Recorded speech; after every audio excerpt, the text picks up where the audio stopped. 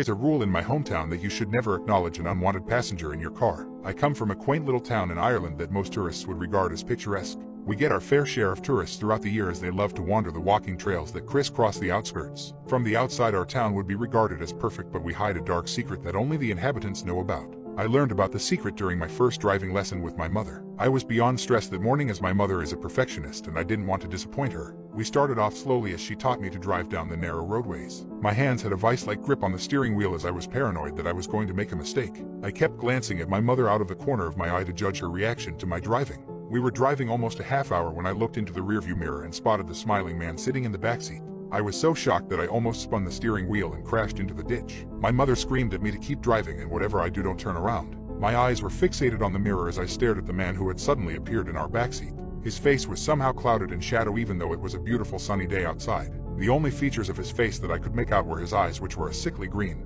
His mouth was twisted into a snarling smile that made me want to jump out of the car. I watched in horror as he started reaching forward with his long spindly arms towards me. I was paying so much attention to him that I had taken my feet off the gas pedal and we were slowing down. My mother slapped me across the face and yelled at me to drive faster. I sped up and watched in relief as his arms slowly withdrew back towards his body. He leaned his head forward and opened his mouth, and a plethora of voices began pleading for help. I instinctively covered my ears with my hands which forced my mother to grab the steering wheel. It took me a few seconds to regain my composure and I grabbed the steering wheel. My entire body was on edge as the cries coming from his mouth reached a deafening crescendo. In the blink of an eye the smiling man vanished leaving me and my mother alone in the car. I pulled the car off to the side of the road and proceeded to vomit out my breakfast. The local police officer drove by and stopped to see what was wrong. He gave me a nod of approval as my mother explained that we had an extra guest in our backseat. We drove home in silence and I tried to venture the subject with her on a number of occasions but she refused to talk about it. I learned from a few other people that he has been appearing in cars for almost 70 years. No one knows anything about him but they all warned me to never turn to face him.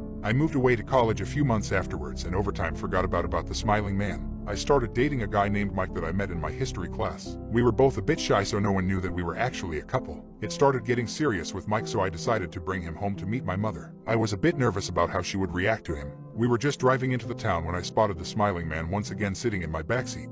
The blood drained from my face as we locked eyes in the mirror. Mike suddenly jumped in his seat as he must have noticed the smiling man. I shouted at him not to turn around but it was already too late. The smiling man's grin widened as Mike turned in his chair to look at him. There was a blinding flash that caused me to jam on the brakes. I was suddenly drenched in blood and body parts as Mike's body exploded. I climbed out of the car and on the road weeping as Mike's body flowed out of the car and pooled on the ground. I was discovered by the same officer who tried his best to comfort me. It took me almost two weeks to get myself cleaned up as I kept finding pieces of Mike in my hair. I went back to college almost three months later and felt my heart drop as I spotted posters hanging everywhere with Mike's face plastered all over them. A woman saw me looking at them and asked me for help locating her missing son. I excused myself and practically ran away. I didn't have the heart to tell her that her son is buried in a small field in the middle of nowhere. I am now living with an abusive husband who beats me on a daily basis. I have managed to convince him to travel to my hometown with me, and I hope that I will get an opportunity to introduce him to the smiling man during our visit.